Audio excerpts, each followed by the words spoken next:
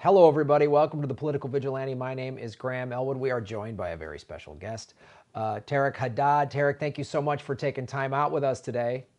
Yeah, thanks for having me on. Appreciate it. So, to my audience, um, th- this the Action for Assange people introduced us because mm-hmm. you've had um, we I've done several videos, and any my anybody watching this right now, if you haven't, please go to my playlist. I've done several videos on the leaked OPCW reports that have shown basically how they lied us into a war with Syria. That's the, the, mm-hmm. the, crux of it. So most of my viewers probably know that. For those of you watching that don't, uh, please get up to speed on that as we as we go into this. So why um, I wanted to talk with you is you basically, and you can walk us all through this. You you tried to cover this story and they told you not to. So why don't you just explain to us um, mm-hmm. what happened and how you've your investigative journalism has kind of shown a a, a, a bigger um, plot mm-hmm. or motive. Sure. Um, firstly, I think it's kind of important to understand that I'm kind of familiar with the media landscape, so I know that um, there's things that are difficult to say in the media. For example, I've known for a very long time that the whole narrative around Syria is a big deception, as I'm sure many people have. Um, but to kind of, and I knew the magnitude of this story is that it would implicate that the whole war is a lie. Um, so, so, I'm sorry to interrupt, but just tell mm-hmm. everybody, you, just give us a quick your, your journalistic background so we mm-hmm. know where you came from. Perfect. Yeah, sure. Um, okay, so I I did a finance degree, finished in 2012, worked in finance for two years, and then kind of while I was working in finance, I saw how corrupt that was. I trained to be a journalist with the Press Association, which is the like England's equivalent of the Associated Press. Mm-hmm. Um, from there, I did kind of a bunch of work experience things with national newspapers and local newspapers. Okay. Um, then Hull Daily Mail, which is a local newspaper, one of the best in the UK for regional news. So kind of did the typical work your way up from the bottom, um, going to court, government meetings, and you know that kind of local news type of stuff. Um, in 2016, I started working at the International Business Times or IB Times UK, okay. which was um, at the time, it, it, had just bought Newsweek, so the two organizations were related to each other. Um, worked there for about a year and a little while. Um, started to become very interested. Well, I was always interested in foreign affairs, so I was always writing a lot about Syria and international politics. Um, and then I believe, yeah, 2017, I believe, I took two years away from journalism.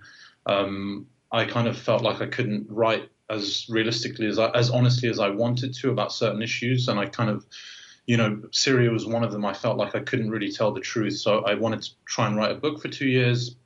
Difficult process, obviously, and um, had to kind of grow up and get start making money again. So um, in in September of last year, I um, was like, okay, I need to kind of go back to journalism, start building a career again. Had my old connections from the International Business Times, a lot of the same editors. So I was able to get an interview and apply, and I got the job at Newsweek, covering foreign affairs, um, kind of same stuff I was doing before. Um, so in about mid-November, I believe, Donald Trump announced um, he was withdrawing troops from Syria, and then a week or a few days later, um, Turkey kind of launched its invasion into northern Syria. And, you know, just as I would normally would on all sorts of foreign affairs issues, I started, you know, I was asked to write about this. And I think this is all important actually because, you know, when I tried to write my story about the OPCW, my editors were kind of trying to say that I didn't have the credibility to write about it or I didn't have the expertise. It was part of this kind of big, essentially trying to smear who I was as a journalist.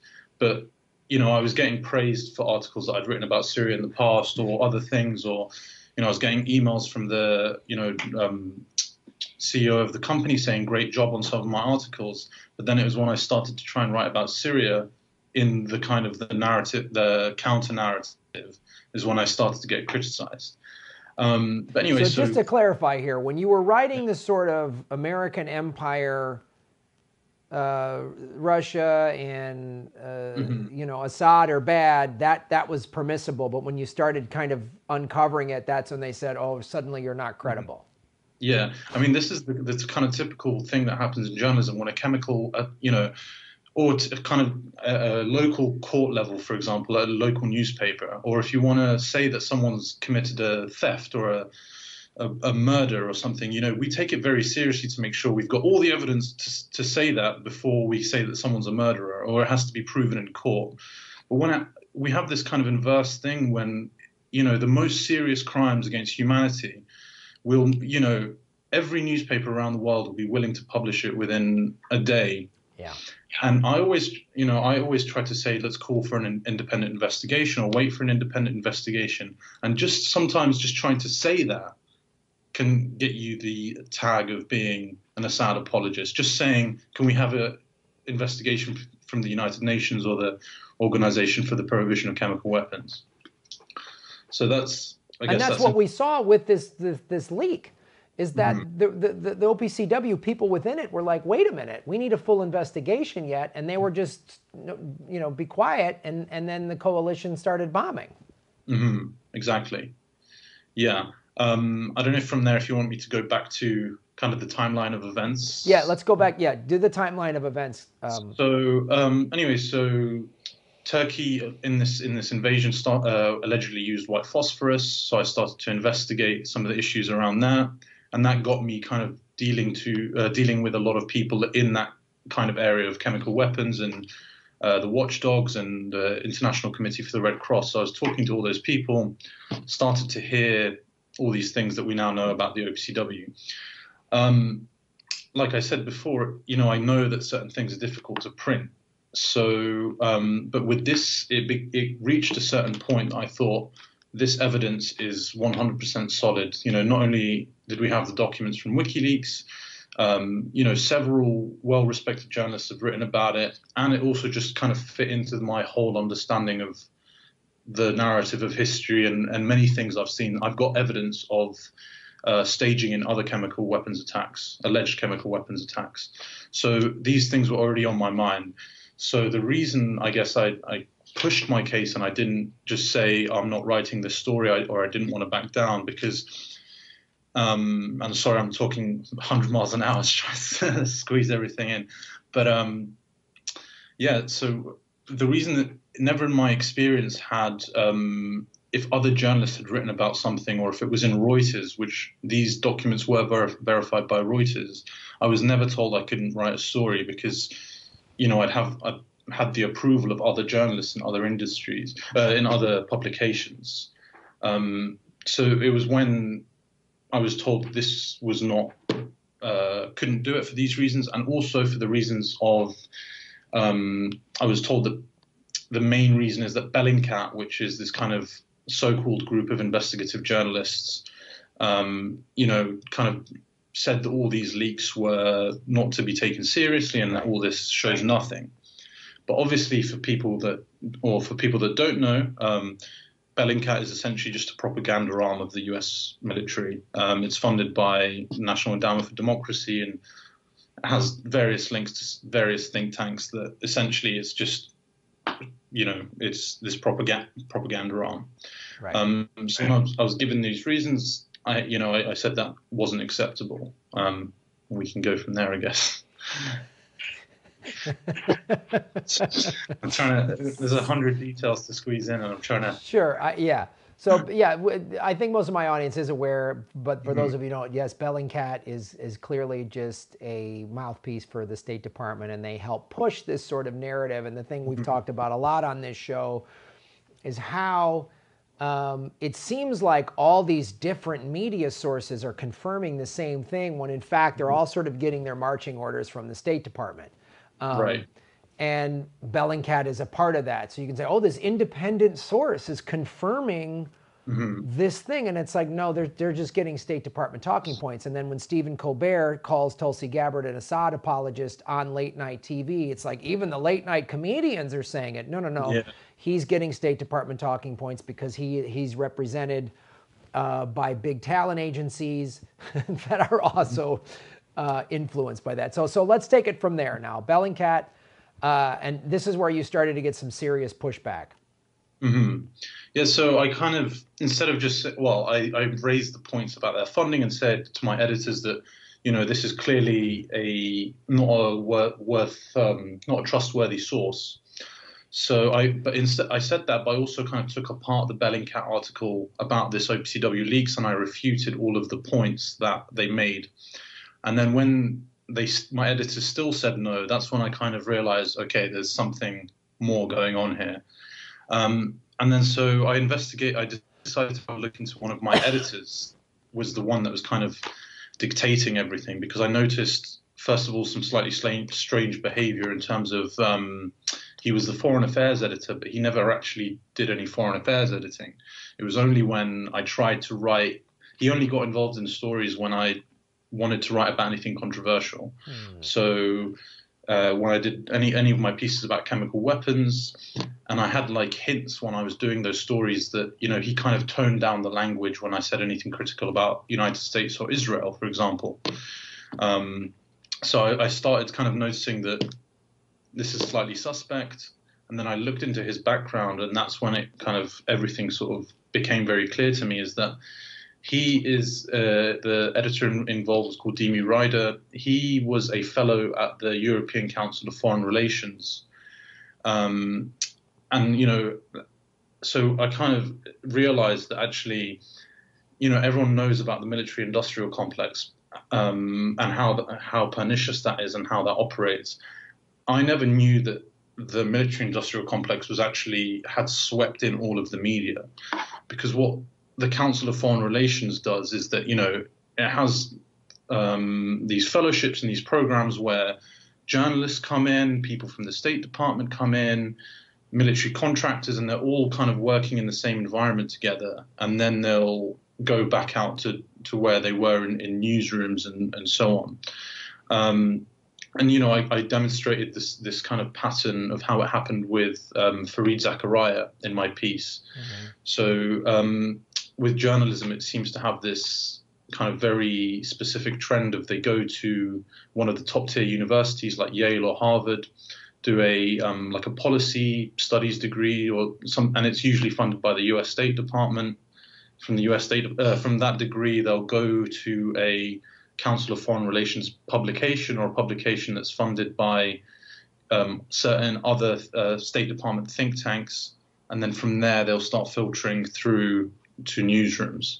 Um, and so that I think that's what, and this was the editor that was kind of telling me, you know, Bellingcat have said this is a no go, but he's getting his, you know, he, he seemed very, actually very pally with Eliot Higgins, who's the founder of mm. uh, Bellingcat. And, you know, he was more than happy to keep, you know, saying how great his work is. So that's, I think that's why you have this blanket silence on so many stories because there's actually editors that are you know, essentially their careers are funded by the State Department, um, which was news to me. And I've I've studied propaganda for several years, and I, I didn't I never thought that this it was that bad. But um, when I looked on LinkedIn and Twitter, I realized that so many journalists have this this link to think tanks like this. Um, and to me, that's a problem because it's obviously a big conflict of interest. Yeah, and I mean we're we're seeing this all over the place. We're seeing the mm-hmm. fact that the, there's an executive at Twitter that was a you know a British intelligence officer. I mean, right. like it's it's mm-hmm. it's pervasive. It goes into the the major universities. Yeah. Like they're big... they're everything. And so I mean we've seen this. This is how they sell war, and this is how like why we haven't had more investigations about what happened with Jeffrey Epstein when the CEO mm-hmm. of Disney kills us an interview with Virginia Roberts 3 mm-hmm. years before it comes out. Uh, and then we find out his wife was was a socialite pals with Ghislaine Maxwell, who mm-hmm. Virginia Roberts uh, said in a sworn deposition, uh, you know, uh, raped and trafficked her. Mm-hmm. So where else are you seeing this as you as you started to uncover more, and you're seeing sort of mm-hmm. this this this bigger uh, uh, network, where mm-hmm. where else? How else are you seeing this?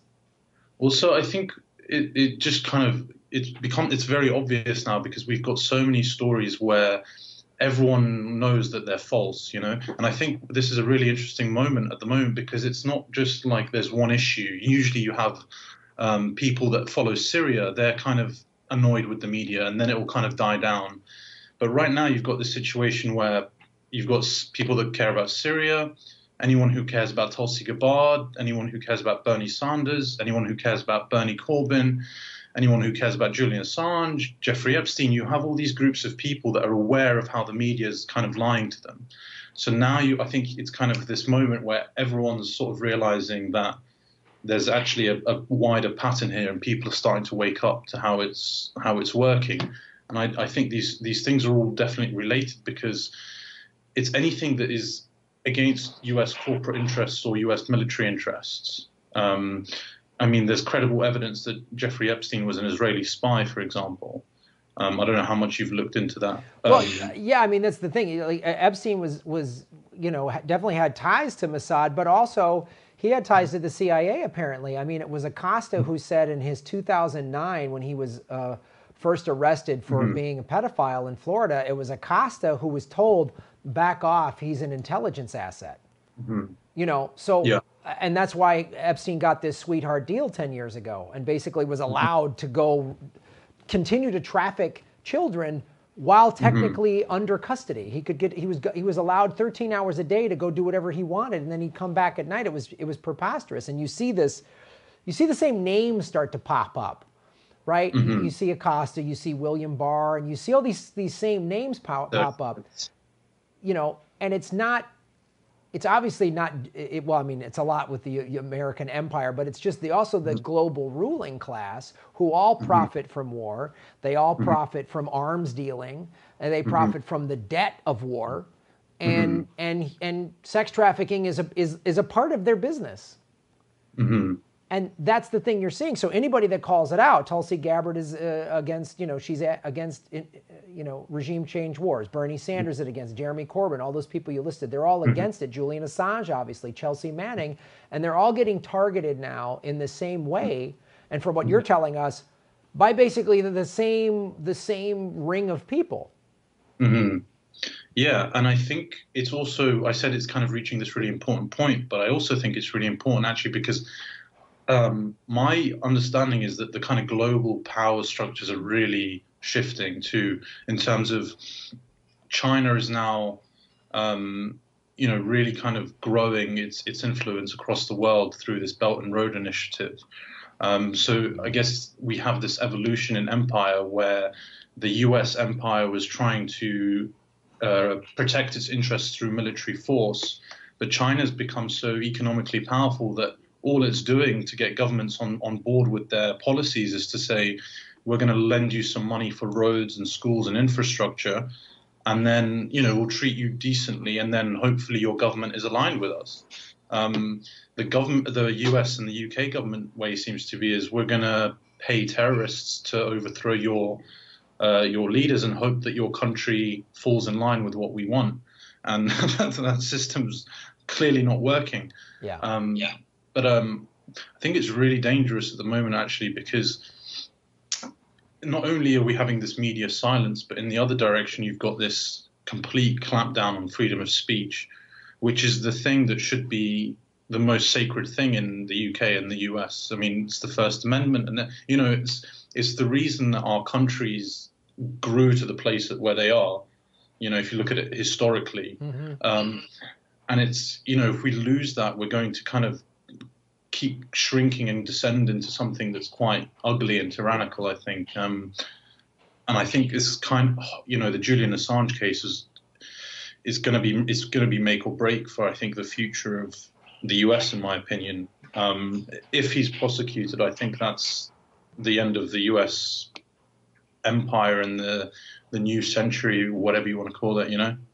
Well, yeah, it's the last leg of this. Like, uh, let's pretend America's the the democratic, you know, mm-hmm. uh, refuge. mm-hmm. uh, we can't sit there and you know, we, we, our selective outrage is so preposterous. You know, mm-hmm. um, we're all we wrung our hands over Khashoggi, and it was awful. They, he was he was butchered. But but the Saudis mm-hmm. are our ally because yeah. you know we get their oil and they buy our arms, and then let them go and we support them wholeheartedly into committing a complete um, genocide in Yemen, and no one seems to have a problem with that.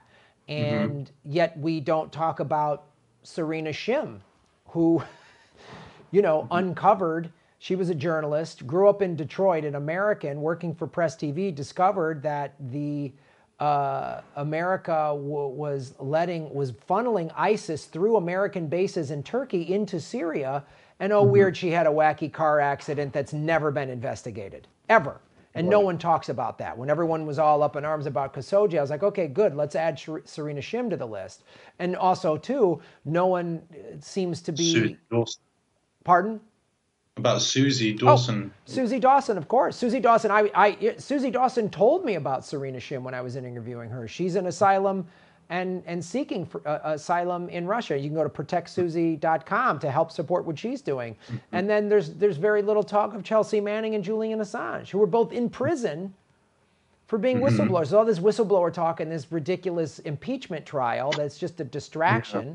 It's a distraction from the leaked OPCW reports. It's a distraction mm-hmm. from Epstein. It's a distraction from just the trillions of dollars we spend, as you say, America mm-hmm. goes to countries and say, you have resources we want, and if their leaders don't play ball, well, then we help overthrow them. Mm-hmm. And then that we put in a tyrant who can do whatever they want. We mm-hmm. don't care. Yeah, and the thing is, America could get away with that before, but right. it's it's not going to be able to anymore. Um, you know, China and Russia's influence in the Middle East, for example, is going to slowly keep pushing America out. Iraq has signed a deal with um, with China with this Belt and Road Initiative. You know, after all the money and all the years we spent there, um, in just a couple of years, now their government is pretty much completely aligned with China's. Um, yeah, so it's kind of precarious times, I guess. Yeah, well, how do you see this playing out? Seeing all this information that you have uncovered, what happened to you basically? So, did you lose your job or? Well, I resigned. Okay. Um, I kind of tweeted it out, and thankfully, I got a lot of support, which I I didn't know how it would go, but um, you know the support I got was great. Um, now I'm kind of just trying to think about next steps. Um, I've been kind of contacted by so many people that actually have experienced the same thing, and other journalists that have spoken about, out about certain issues and then were forced to quit or lose their jobs. And so my understanding of, of everything has, has changed so much, and I really think it's it's way worse than I ever thought. You know, when I when I quit, I was thinking, oh, I un- uncovered this big big corruption, and then actually two or three days later, I was just realizing that I've only scratched the surface of um, all this, you know, all the stuff and all the lying that's going on. Um, in terms of where it's going to go, I think, you know, I'm I'm kind of keeping optimistic. I think you know shows like yours and Joe Rogan and Jimmy Dore and Aaron Mate, people, you know, there's a lot, there's there seems to be a, a number of solid voices. Um, even you know with Tulsi, you know, people that are speaking honestly about this, and I think the awareness seems to be growing.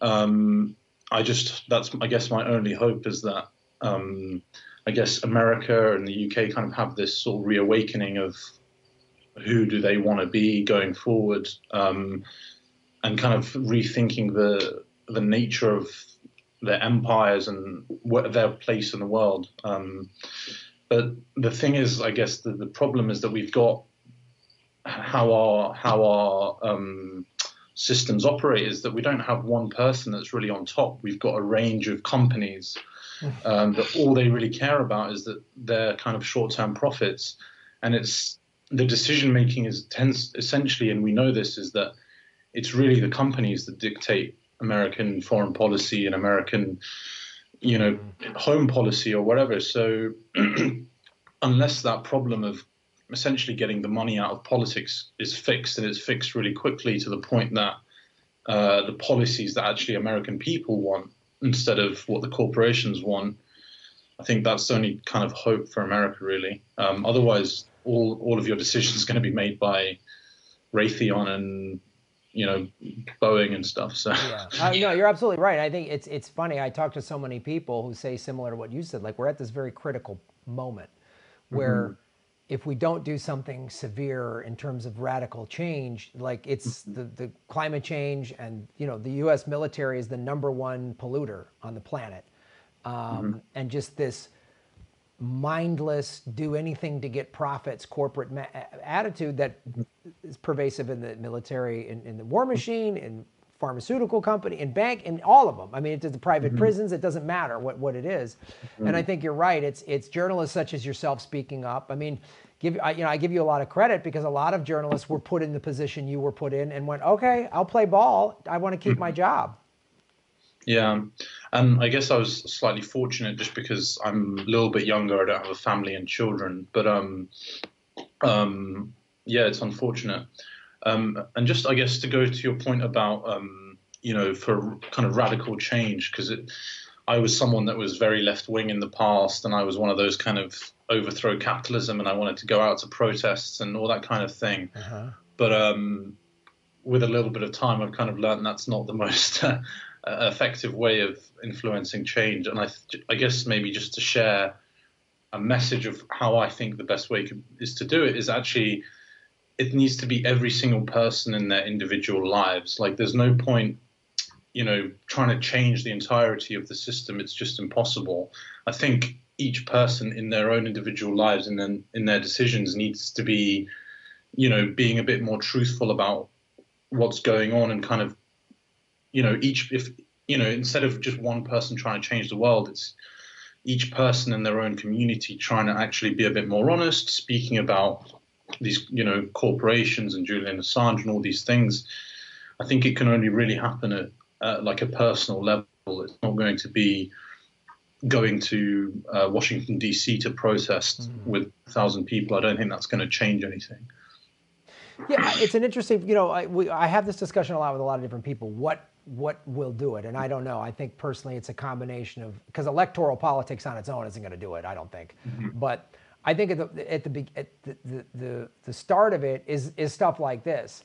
People such mm-hmm. as yourself coming forward. Uh, my show, other shows, the shows you name, Jimmy, Joe Rogan. Uh, you know, is is to put those shows out there and to get more people to wake up because we've all been propagandized, we've all been lied to for so long mm-hmm. that that's part of it. You know, I just see people on social media, oh, how's Bernie going to pay for his Medicare for all? And nobody from that crowd is asking, how are we going to pay for this war in Iran that they so badly want? How are we going to pay yeah. for all this stuff? Nobody's even paying attention to the fact that $6 trillion, the Federal Reserve just gave Wall Street over the course of about three weeks, $6 trillion. Just gave it to them. Because the Federal Reserve can just do that. They can just create currency and just give $6 trillion. And we're sitting there screaming about, oh, how are we going to pay for Medicare for all and this impeachment yeah. trial. Adam Schiff, in his district in Los Angeles, there's people living in tents. There's tent mm-hmm. cities. Why doesn't he fix that? How about a, a, a congressional hearing about that?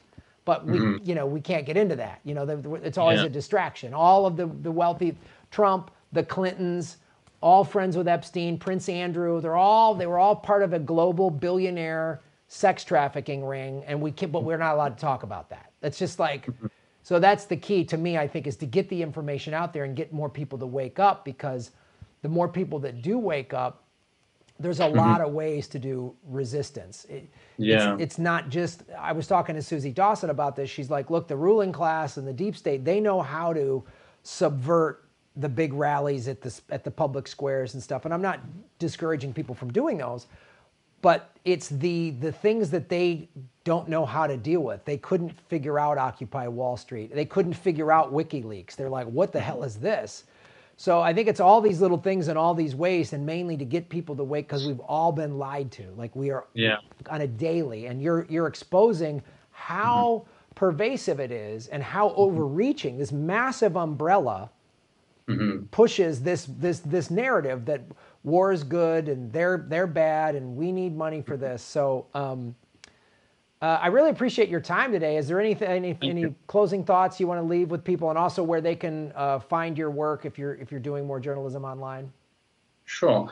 I guess one final thing is that um, another way of also going about this problem is that realizing that um, you know, America shouldn't have this massive divide of, of left and right. I think lots of people have spoken about this, but it's it's definitely one of the main issues that could just keep getting further till it descends into civil war. I think people need to start realizing again that, you know, whoever they're talking to doesn't matter what their political beliefs are, is that they're still their beliefs are actually still valid and they're derived in you know with good intentions, or at least give people the benefit of that doubt before talking to them.